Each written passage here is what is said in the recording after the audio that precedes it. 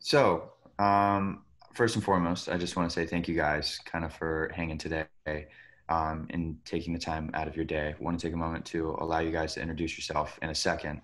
Um, but I just wanted to take this opportunity to give you guys the reins. Um, first and foremost, I am a white male living in our country right now. And I just want to be a voice to listen to everything that you guys have to say and use the platform that we have to allow other people to understand what's going on in the world and what better place to do it than right here. So, um, thank you guys again for doing this. Um, as you know, I'm Chase, um, and I'll let you guys take a second to introduce yourself. Hi, I'm April Smith, and I'm from Virginia. Hi, April. Hi. Hi, I'm Grant. I am from Sherman Oaks, California. I'm Kayla. I'm from I'm from Danville, California.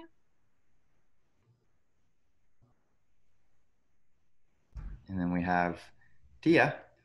I'll go. Uh, my name is Tia. My pronouns are she, her, hers, and I am the Chief Clinical Operations Officer of the Trevor Project.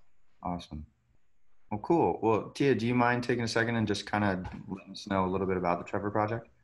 Sure. So, um, the Trevor Project is the largest LGBTQ suicide prevention organization in the country, probably the world. Um, and we offer 24 7 crisis services for LGBTQ youth in crisis. Um, and they call us, they chat, or they text us um, when they are struggling. Um, not everybody calls us in crisis. Some people are just questioning, or some people are having problems with their parents, but we are here 24 7 for them. That's amazing. Awesome. Yeah, it's a great job, to say the least. Sounds like it. It's really cool. Yeah. So, and then I believe all of you guys are a part of Bring Change to Mind, if I'm not mistaken, correct? Yeah. So, do you guys want to take a second and just kind of dive into what that's been for you and how that experience has been, and and you know your two cents on Bring Change to Mind? Maybe. Do you want to go? Sure, yeah. So Bring Change to Mind, I got involved with Bring Change to Mind um, about two years ago. I'm actually a part of another organization called Teen Line, which is a teen to teen uh, crisis um, and uh, teen to teen helpline. And so um, they uh, helped me become aware of Bring Change to Mind because I wanted to start a mental health club at my school. And basically, Bring Change to Mind provides the resources and the support in the community for teens like myself to create mental health clubs, conversations, programs within their high school. Um, and so I've been involved for the past two years, and um, I started the club towards the end of my sophomore year, um, and we've been going strong.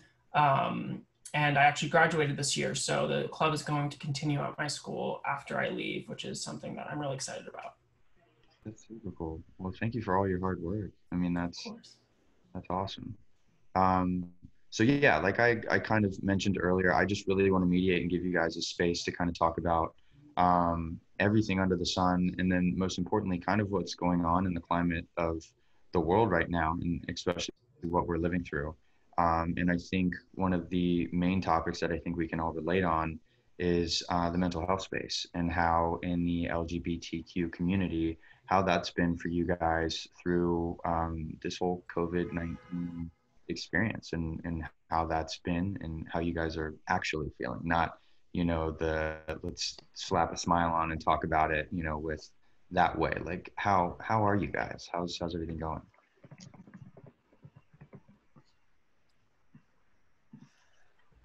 It's, it's difficult, right? I mean, I think, I don't think it's not easy being you know part of the lgbtq plus community uh, by itself but when you add in external pressures and increased attention and it, it gets very stressful sometimes. And and i think visibility is a amazing thing. And it's great to have all kinds of voices but at the same time it is it is a point where we feel kind of vulnerable um, sometimes and, and, and we feel um, you know, especially with with COVID and then and then Black Lives Matter and just 2020. I think for anyone, 2020 has been a crazy six months. It's like 10 years in six months. Um, but it's also really difficult for people who are gay, who are trans. Um, for example, during during uh, a lot of lockdowns, we were trapped in, in in our homes, and for a lot of us, that was extremely destructive, especially for those that did not have supportive supportive uh, family members. And and um, um, but with the whole um, the Black Lives Matter movement, I think, I mean, I'm I'm I am not black, but um, uh, as someone that is a person of color, it feels very liberating in a sense to to finally have kind of a moment for people that have been marginalized for for for hundreds of years and and to finally see a system that has that is broken for so many of our Americans. Absolutely. Yeah, thank you for that. You guys want to add anything? Your experiences? I think um, playing off of April, it is hard in this circumstance with COVID and like being at home for people who aren't accepted by their families and have chosen families that they'd rather be with. And I think the hardest thing over the past couple months, like I'm very lucky to have supportive parents, but it took a long time. It took a lot of education. Uh, it took a lot of open conversations. But for people like, you know, my girlfriend is in a very abusive situation with her coming out. And, you know, it's hard in these circumstances when we're not able to be there for her as much and she has to be in these spaces where uh, she's not accepted. And that's where like you know organizations like the trevor project come in like when in crisis or when feeling down or even just having questions like being able to chat with somebody or call somebody like you know that's that's where the change is made is when we're able to reach out to people and to to have open conversations like this. Yeah kind of just to add on to that i think you know, I think what's really great about you, Chase, using your platform to help um, teens and anyone, any LGBTQ youth um, to become aware of organizations like the Trevor Project, because I think during this time when we're not in school and, and we're not able to um, see people that maybe know of these organizations, um, it can feel very isolating and alone. I know just for myself, um, being gay, um, especially when I wasn't out, um, I felt extremely alone and um, and that wasn't necessarily because of my parents or because of anyone. It was just solely because I believed that I didn't, you know, belong in in a community like the LGBTQ plus community that is so welcoming and um, so open. And so to add on top of that being in, you know, an actual physical isolation, um, it only exacerbates those emotions and those feelings of loneliness. And so you know when you, because we're all you know kind of ingrained in this world of social media i think it's so important that um, teens have access to these resources like the trevor project that are really there for us. Right. How about you tia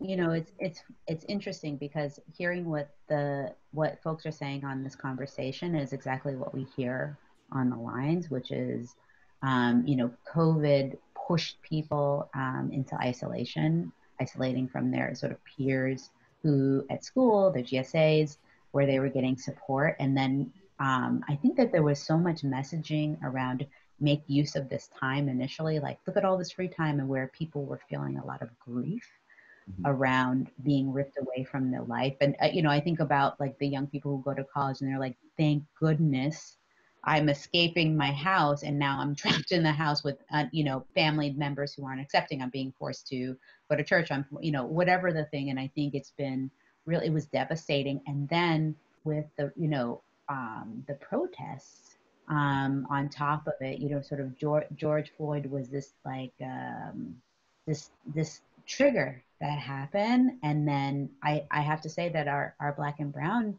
LGBTQ youth have been utterly devastated um, and feeling really unsafe walking around their neighborhoods potentially, feeling a lot of grief and rage. And so um, it's been really tough because we know that Black and Brown youth are, um, you know, have far less access to mental health care. We know that Black and Brown youth between the ages of 5 and 12 are twice as likely to um, complete suicide um, than their same uh, same peers, uh, white peers, and so uh, there is there's so much going on for our youth that uh, it's been it's been it's been overwhelming, and on top of that, I am always in awe of their grace and their resiliency. And so when I think about the young people on this this this conversation, the fact that folks can talk about it in such a um, thoughtful manner i'm just constantly in awe of of the young people. So so it's like a combination which i'm so impressed with their ability to manage and so many uh, emotions that can be overwhelming in a way that i think a lot of adults would not be able to. Absolutely. Yeah. And on that note are you guys finding other ways i mean tia you kind of touched on it a second ago um, with how it started out as us assuming we had all this free time to work on ourselves and be present with ourselves in, in all of these ways that I think in society prior to this, we're, we're hoping that we could just have a week of, of freedom to be able to sit and be present with ourselves. Now that we're going into, what is it, month four, month five of, you know, isolation, how are you guys managing? Like, are you taking advantage of some of these tools like Zoom to stay in touch with friends and, and community members as well? Or, or has it been something that over time you've seen sort of slowly decrease or what has it been for you guys? It's definitely not easy. That's yeah. that's definitely true. Um, for example, um, uh, I live in a family that, um, like, on the outside, they're very supportive of LGBTQ plus people. Um, they wouldn't mind if it was anyone else, but when it's actually their child, um, it's a little bit of a different story. And so, for example, at home, um, um, my gender identity isn't uh, affirmed. Um, uh, my right pronouns or my right names are not used. Um, and that's something that I struggle with because, um, you know, on externally I have to put up with it, but internally it's it's my identity being being crushed every single time the wrong name is used, the wrong pronouns are used, and it, it's it's extremely difficult.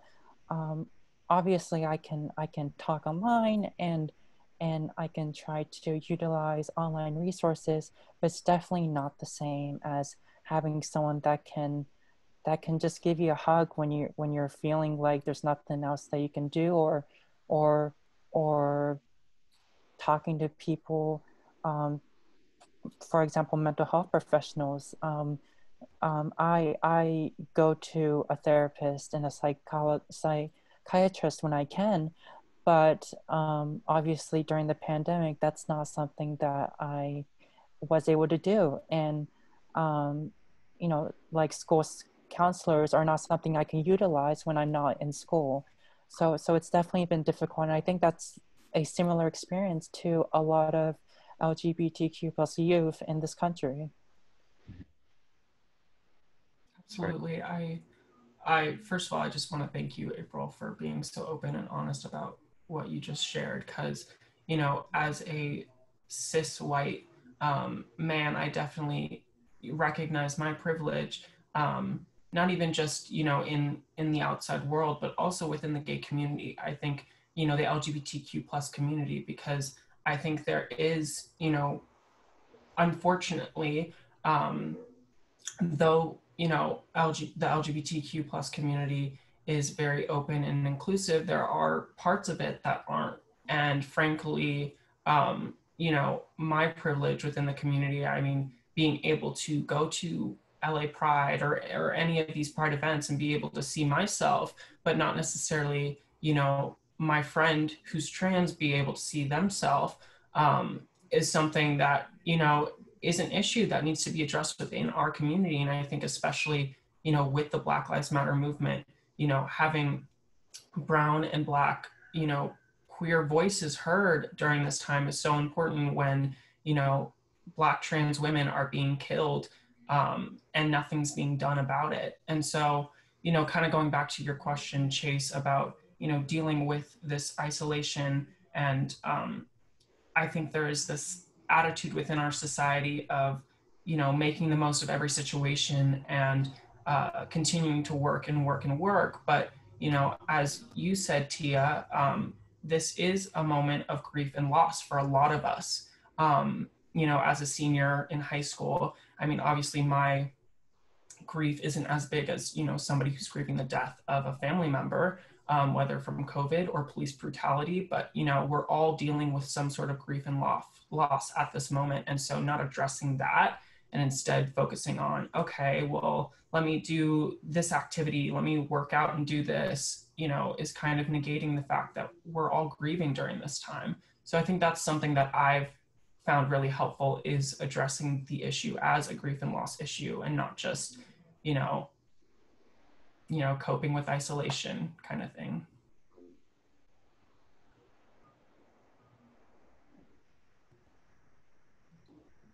Cool. Um, I, I kind of want to transition into um, the Black Lives Matter movement. As we've seen, this has been a monumental moment in not just our you know existence but now moving into the education of things that you know we weren't taught in our normal school system. I mean i had a beautiful conversation earlier today with you know a friend of mine and watching some of these statues come down around the country and talking about this in an open platform now and looking back at my experience at your age and saying why was i never informed of, of these pieces? I mean i'm on the east coast right now in Wilmington, North Carolina, to be specific. And I don't know if you guys have seen the news, but there's the horrific news about the three cops that just came out and said some horrible, horrible things over their police radio.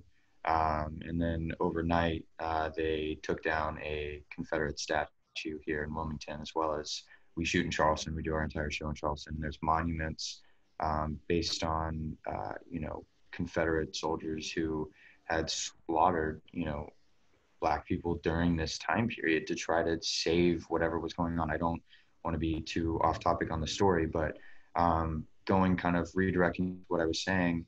Um, how how are you guys doing during this period? Like, are you activating your platforms? Um, because I've had a lot of people reaching out to me who are concerned because there is some people who don't know how to talk about these things. So just wanted to ask you guys what are your thoughts on everything going on right now and what are you guys doing to sort of spread awareness during this time period?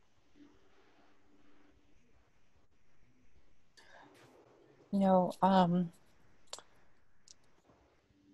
i think this is a time to uplift and amplify voices that have been traditionally marginalized especially um, black and brown americans. And t- to me i feel like the definition of being an ally has really changed in the past couple of months. I think to be an ally, you know, I think allyship has transitioned from a noun to an action verb. It's transition it's transi- transition from a thing you can be to a thing you can do. So to be an ally, you have to actually work for the betterment of the community, not just be for a community. You have to actively be an ally and and uplift voices, provide resources, donate, advocate, and and it's just something that I think is a very important advancement in in allyship for for all around the country, not just for black and brown americans. I think that's um, incredibly important. I think there's there's two sides in in having change in in this society. I think there's uh, change through uh, changing societal attitudes and then change through policy. And i think the two are very um, interlocked um, and move um, and similar but uh, at different rates. And i think it's important that I think what's been so effective about this movement is that we're attacking it from both sides, and and and I I think that just incredibly inspiring for all all vulnerable communities around America, and and it, it makes me hopeful for a for a better future. Mm-hmm. Absolutely. Chase, can I jump in because I just want to give April some snaps because. I agree with you so so strongly. I agree with I love the way that you framed that. And one of the things that we were we've been seeing is like there's like been a journey over the last month or so. so you know, I don't even I actually have no sense of time. I don't know about y'all, but I don't even know I'm not sure what day it is. What's going on? Anyways, so but what I've seen is initially there was so much rage. I think especially me as a as a black woman, a lot of cis women, a lot of rage around um, sort of like this has been going on, you know, this is the United States was built on what, what's about on slavery, right? You know, it was built on free labor. Um, and sort of like this has just been this last month has been like the manifestation of you know 400 years of mistreatment and i i have been and i'm going to use april as an example um, so impressed by the younger generation as I saw something on on on uh, Instagram, um, and it was like this woman dancing, and and she was like, "You've done effed with the wrong generation in this dance," and I was like, I was like, yes, young people, y'all are doing it in a way that no other generation has done. So like that's why I've been so like uh, in awe and amazed by the change that has been wrought by the youth and just thinking about how you all are, are organizing in a completely different way. And so, you know, I think allyship is now a verb, and I think that folks are really getting it. So I appreciate uh, April your framing around. Yeah, that was very eloquently put. Like I, honestly, there was a moment where I like looked down at my arms and I had goosebumps. I was like, yes, like keep going. So thank you for that. Um, Okay, so Tia, I think maybe now would be um, a cool place to sort of talk about um, the Supreme Court's recent ruling. Um, and I'll give you guys the floor again. You know, I'm here to, to kind of let you guys talk. So, what are your thoughts on that? I mean, I think it's, it's important to kind of discuss this. This is a big moment. Well, before you kick it to me, do y'all do you mind kicking it to to the youth? Yeah. Because I, I want to hear them first. Okay, good. Yeah. Thank you. Yeah, yeah. No worries. Rock, paper, scissors. well, um, I think with the most recent ruling, uh, I think we're talking about the discrimination laws and correct, like that's what we're going at. Um, I think it's again like what April said, like talking about the policy side of it and the social aspects of like the activism i think in within like the policy standpoints of like actually going through the supreme court i think it was a huge ruling considering like everything going on right now and the climate of the world and also like during pride month i think that it's really important that you know these policies are passed and that they are you know like established as like it is illegal to discriminate against you know lgbtq people and i think that with everything going on in the world right now, um, it was definitely it's definitely a start, but there's still more to be done. Um, I think especially on the social movement of like just like talking to people who don't really understand LGBTQ plus folks and you know um, also just like looking into more states that are you know not as accepting and like it starts with action it starts with stories and you know like just as we are doing now talking talking about it and you know creating this dialogue with people who possibly like don't really understand lgbtq plus folks or anything like that. And just having this dialogue is the most important part um, to like a catalyst of acceptance and change. Yeah. Thank you. Yeah i, I definitely agree and, and i think during this time, um, it's definitely been eye opening to see, um, you know, the change that the Supreme Court um, made recently, obviously with the um, anti discrimination ruling, um, coming so shortly after um, uh, the Trump administration's uh, de- decision to roll back uh, transgender rights uh, in, in, involved uh, with uh, healthcare. And right. so, um, especially having that um, be announced on uh, the anniversary of the Pulse shooting. Um, and so, that's something that I think, as a queer person myself, has been very frustrating because it feels like um, people just aren't, you know, aware of these things. Um, and you know, it, it, just baffled me that something like that could happen on a day that um, is filled with so much grief and so much, um, you know, memoriam for these people that um, that lost their lives. And so I think, you know, again, going back to what April said about, you know, being an ally um, and, uh, you know, being able to use your platform to uh, make aware these things that, you know, some people aren't aware. I mean, I, I had so many friends that were like, wait, it was, it wasn't illegal to discriminate against uh, LGBTQ people. And the truth of the matter is that is, it, it was that way for an extremely long time. And, you know, conversion therapy is still legal in more than half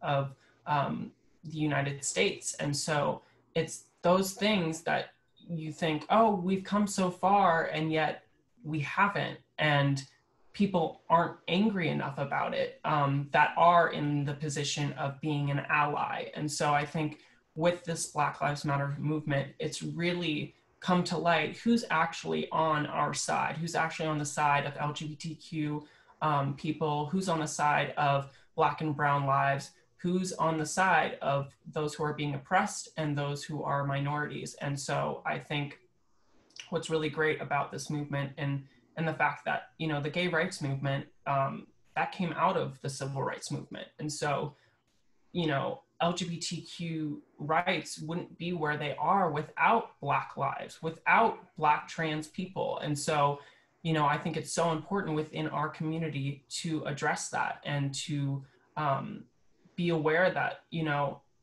this black lives matter movement it involves us. It is up to us to be allies to um, black and brown lives. Hmm. and if i can interject just a little bit um, obviously when the supreme court decided that um, under title vii that uh, employers cannot discriminate against employees based on uh, based on being gay or transgender because of the uh, sex clause under the uh, Civil Rights Act. That was a massive victory and it was a day of celebration, except that it was only a day of celebration because we can celebrate for one day, but then we have to get right back to work because, you know, for example, yes, we have Title VII now, but how about Title IX that affects people in education? Or, or, or even though the Supreme Court ruled ruled uh, in that way, how is it going to be enforced? Because again, the executive, the White House, is in charge of enforcing Supreme Court uh, cases. So, so, for example, how is the Trump administration going to enforce this? And and it just becomes, you know, I think it's difficult because you want to celebrate you want to have one day where you can say okay we finally got something but but there's just so much more and it keeps piling on and on and and i think it just shows how much we still have left to fight for as a community as as americans and and, and as a as humans i mean i think acceptance has come a long way but we have so much more I, it's it's just beginning yes absolutely. Wow. Um, you got, I mean, this is just, it's, thank you guys for speaking on these things. I mean, it's, it's a really beautiful thing to see the youth of the world here. You mentioned it, like the, the bravery, the honesty, the vulnerability that you guys are, are willing to take into your hands and just be so proactive about these things is, I mean, I look back to when I was in high school and I was just so uninformed with what was going on in you know in the political world. And to hear you guys talk so eloquently about these things is such a great thing to see especially now with everything going on in the world. And tic you shaking your head because it's this is the change that we not only we need but you guys are implementing and your voices are so strong on so many different levels and that you guys know that and that you're activating it is making it that much more exciting for me as somebody who's trying to continue to learn and continue to educate myself on a lot of these topics.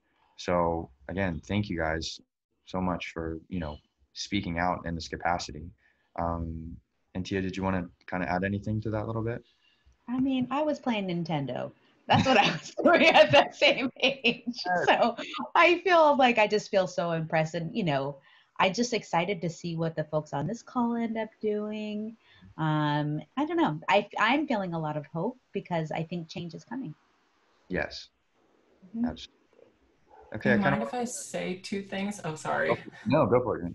Oh, I just wanted to say, um, just in regards to the Trevor Project, um, that is an organization, uh, you know, if, if anyone is watching this, that um, I myself have uh, contacted multiple times and um, have used as, um, you know, a support system for me when I didn't think I had a support system. And so if anybody is watching this and is afraid to reach out to anyone, the Trevor Project is where you should be reaching out. Um, because it's impacted my life. Um, and then the second thing that I just wanted to say, just because you know I know Chase, you're in the entertainment industry, and I think that's one thing that I've definitely um, have taken away from this. You know, being in isolation and and, and watching shows and, and, and TV shows and, and movies and stuff is um, representation. I think is something that is so important. Um, I just got done watching Pose, which is um, a show uh, on I don't know the exact channel, but I've been watching it on Netflix, and um, it is primarily uh, all actual trans women that are playing these trans characters, and they're all black, brown, they're all people of color, and I think that's what's so important right now is, you know, in the entertainment industry, seeing representation because representation is the key to visibility, and I think that's something that I hope you know can change out of all the things that are going on in the world is, is that we, we get to see more actual gay and lesbian actors, actual trans actors playing these trans roles. Um, I don't know why I needed to share that, but I just No, I felt like no. it needed to be said.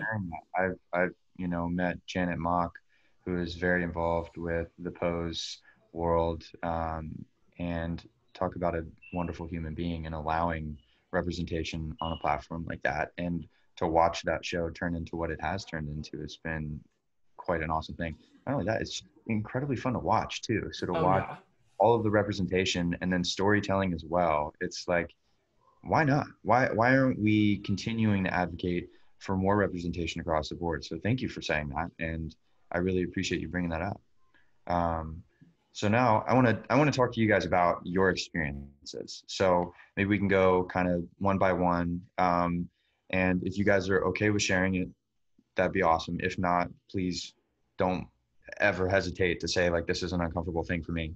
Um, but I just, if you're okay with it, I'd love to know how you guys came out and what was your, what's your story?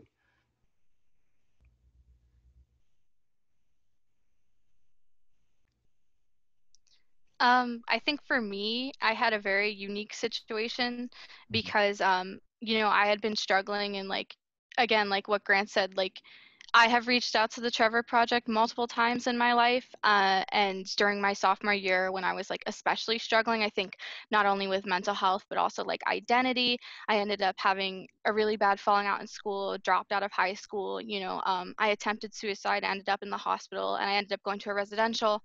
And that was like kind of the catalyst for me that was like, okay, like I want to like work out my internalized homophobia. I want to write about it. I want to talk about it. And I was really lucky to be able to be in a very safe space and like in a residential treatment to be able to come out to my parents and then come out to my siblings. And then right out of residential, when I got back um, home, it was very much like not really like a, like an announcing coming out, but just like this is who I am and this is who I'm gonna be. And and I was very very lucky to be accepted by my family with open arms. Um, you know, having other gay people in my family, but also just I think the most important thing for me was just coming out to myself. And it sounds cheesy, but you know, having grown up with so much internalized homophobia of like there will be a man who will come and save you and love you and and you're supposed to look like this and you're supposed to be womanly and you're supposed to follow these gender identities, you know, to to just have that time in my life like after coming out of such a bad mental health episode um to come out and be like yeah like this is okay and this is who i want to be and this is this is the life i want to live and you know focusing on my recovery but also my identity and mental health and being part of the lgbtq plus is it's intertwined it's interwoven it's it's definitely a part of my recovery and instead of shunning it and pushing it away i'm very lucky to be able to be in a place now where i say i would say like i wouldn't want to be any other way and um, i know a lot of people don't really get as lucky as I did with my experience. Um, it, it doesn't mean it's not hard. Doesn't mean it's not. You know, I don't face struggles, but um, I definitely think that like because I had such a good experience, I want to be there for people who don't, and I want to be there for people who who struggle, and you know, I want to be a chosen family to somebody. That's beautiful. Thank you for sharing that. Grant, did you want to go or April, do you want to go? I can go, yeah. Yeah, um, yeah, so I mean for me, um, I do I, I do want to say that, you know, I am very fortunate to have um, a very accepting and supportive family. Um, and so that made my coming out process a lot easier than um, you know the majority of um, LGBTQ plus teens um, around the world. Um, but, you know, I think for me, it, again, it was never really that big of an issue for the people around me, but it was an issue that I had with myself. And that was something that I definitely struggled with because growing up, I think it, for me, it was okay for anybody else to be gay, to be queer. Um, I, don't, I don't even think I knew that queer was a term at the time. Um, but it wasn't okay for me. And I think that's something that um, I still struggle with to this day is is um, kind of the whole um, toxic masculinity surrounding um, being a gay man or even just a straight man who you know likes things that are are stereotypically feminine. Um, and so I think that was something that I struggled with. Um, I remember the first couple of times that I actually came out to close friends. I believe I was um, 13 or 14. Um, those first few times, I couldn't even say the word gay because um, it was just something that I felt so much shame over. Even though the people around me were so accepting, it still it couldn't click in my mind that I could that this was me. That um, I, I just felt so much shame about it. I felt like you know, I didn't live up to this societal standard of being a man if I was gay. And so, um, again, that's something that I still struggle with to this day, and I think is still prevalent within the gay community itself. Is is is seeing people that are still internally homophobic um, because of the trauma that they experienced when they were younger. Um, and so, I think you know, as I've been able to come into my own, I remember the first time that I came out to my parents, my mom actually asked me. Um, and again, it was something that I, I, I couldn't even say the words I'm gay because there was just so much shame and stigma surrounding it um, within myself. And so, you know, once I was able to graduate middle school and, and go into high school and kind of have this fresh slate, um, I just decided that I was going to be honest about it because at the end of the day, I was tired of living uh, my own internal shame. Um, and, and so going forward, I was able to, you know, be somebody who was out and open about being gay. And while it did feel very isolating at times because I was going to a Catholic school where I was really the only openly gay student at my school, it also helped me see that you know I could make a change. Um, and so I fought for getting a GSA at our school. And, and while we aren't able to call it a GSA, um, we still have that club available for LGBTQ plus students in this Catholic school environment. And so I think that's something that um, you know, that's why I wouldn't trade being gay for anything because, you know, it's made me the fighter that I am. It's made me the person um, that I am today. And so I just hope that, you know, as I move forward, if, if I've, I've been able to help anybody along the way, I think that's what makes it all worth it. Um, so yeah, that's kind of my story with coming out. Um, but yeah. Wow, that's crazy to think in a in a Catholic school you made that type of impact. Yeah, it was. I, I'm I'm really happy with the way it turned out. Um, but yeah, it's, it's cool. Amazing. Wow. Wow. Wow. Wow. Super cool. April. Um, if I can be a little bit vulnerable right now, um, I I went to an all boys school for the longest time, and it was a very difficult for me. You know, my identity being invalidated every single day that I step into school. And I finally was able to change to a different high school when I was a freshman.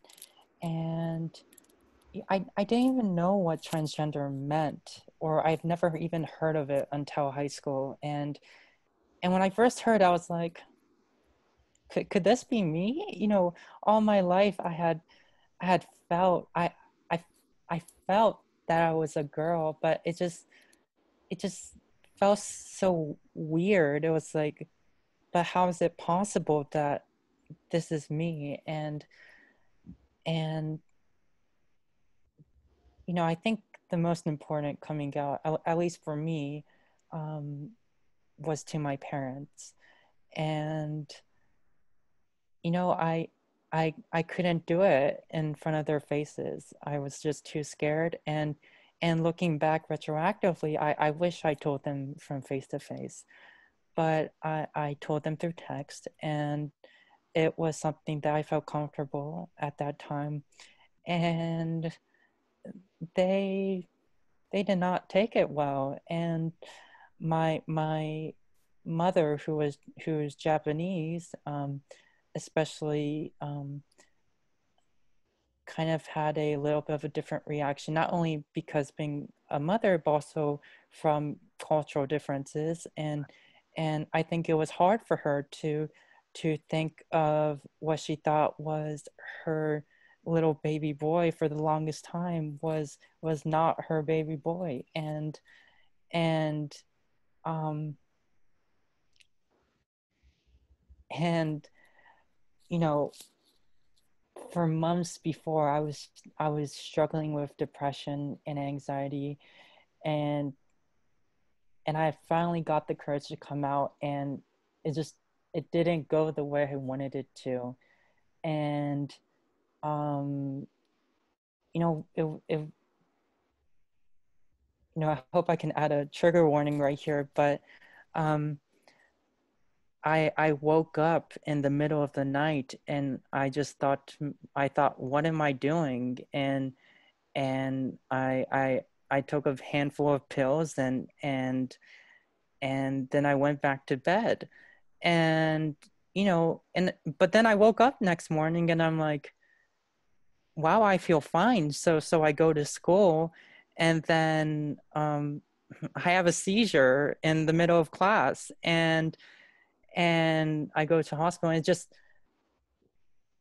and and just kind of like how Kayla said that just it was a moment where I I was I I I not that woke me up but I I felt once you face mortality there's a different attitude that comes over you. And and after that, I made a with the help of of a psychiatric hospital and um, a psychiatrist and, and my therapist, you know, and, and my parents all as a team, we kind of had to make a plan. We had to we had to say that okay, this is not working. We have to change. And although I don't live in a household where it's all accepting and all amazing, at least I'm not antagonized and and at least I can live in my house without worrying of of danger and and at least I can depend on my parents to feed me and give me shelter. And sometimes that's all you can ask for.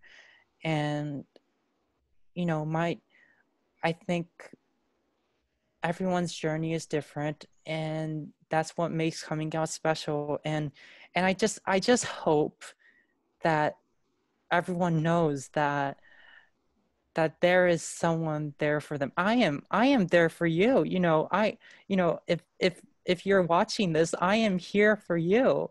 And you know chase is here for you and grant is here for you and kayla is here for you. And there are so so many people that are here for you. Bring change to mind is here for you.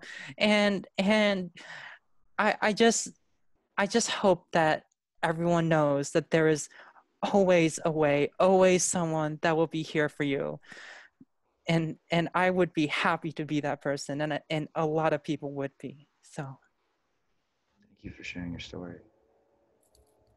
Um, yeah. So the wow. Um, I I have one more question for you guys, and then I'll let you go. Um, what in your ideal future, you know, what would you envision for the conversations and how you want them to change uh, around mental health as well as the LGBTQ plus community? Like, what would you guys want to see? What are one or two things that you can think of off the top of your head that are major changes you'd want to see? I think just having conversations like this, like, you know, with somebody who, you know, you know, and, and that's something that I, I really appreciate um, from you, Chase, is, is being so, you know, inquisitive and, and wanting to learn about us and our stories and where we came from and, and our, our feelings because you know at the end of the day we're all human. We're all experiencing the same emotions. Uh, we experience them in different situations. Um, but you know we can all relate to emotions. And i think that's something that has been helpful for me in you know telling my own story and and my struggles with you know, mental health and mental illness, um, you know, through Bring Change to Mind and through Teen Line is, is having these people that are there to listen and are there to really hear out um, your story and, and not try and interject and say, oh, well, at least it wasn't this or at least it wasn't that. No, just listening and validating somebody.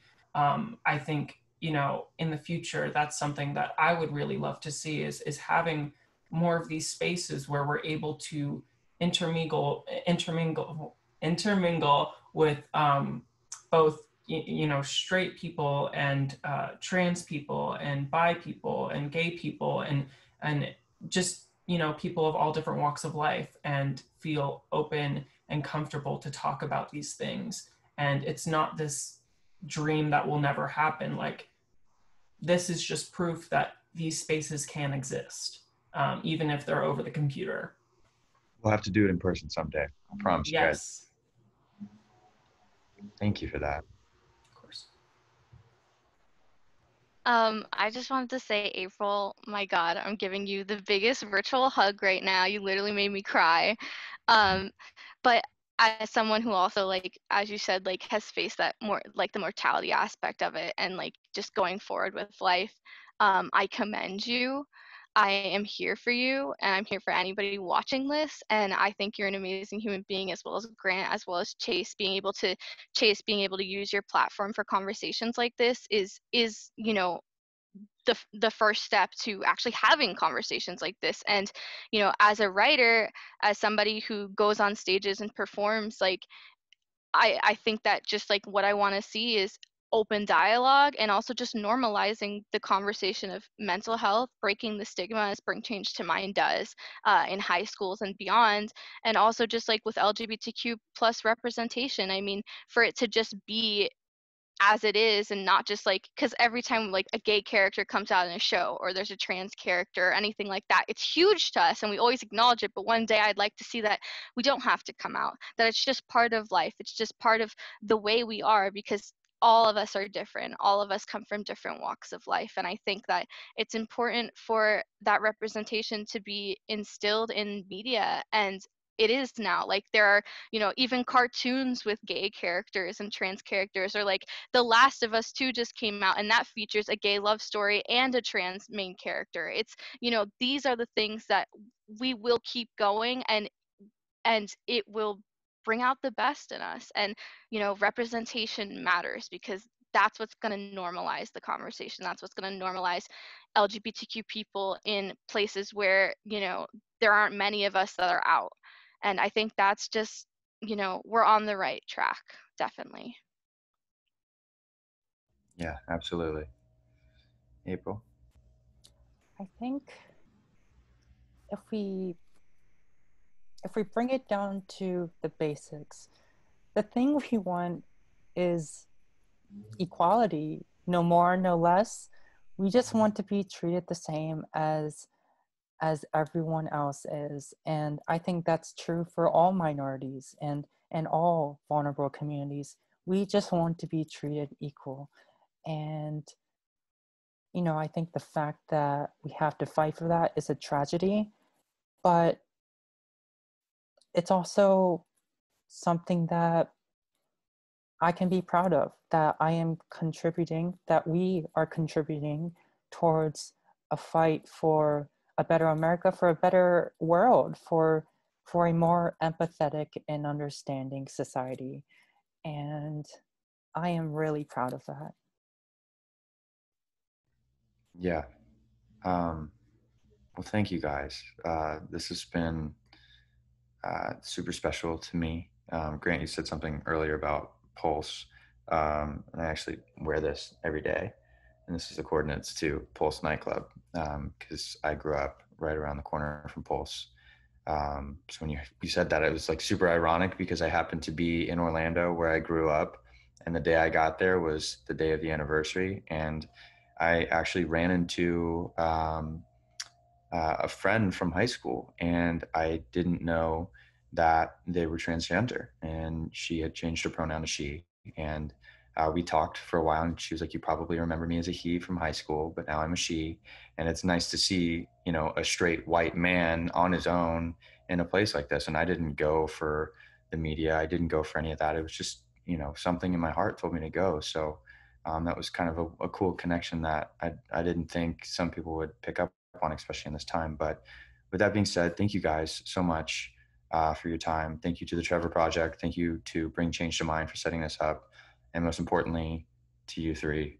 Um, you guys are awesome. This has been so great just to have a space for you guys to be able to share your stories and yourself and allow the world to see you for who you are internally and let that shine. Um, so thank you guys again for for being so brave, being vulnerable, especially during such a crazy time period um, I appreciate you guys willing to to talk about this during a time period where all of our mental health is a little bit on edge and our sanity is is definitely been rocked with everything going on in the world. So um, again, I feel like I'm a, a, broken record player saying saying it, but thank you, thank you for for teaching me things that I didn't know and and having a conversation with me that um, I'm I'm very very thankful for. So um, yeah, hope you guys enjoyed this this little time. And um, again, shoot me a message on Instagram.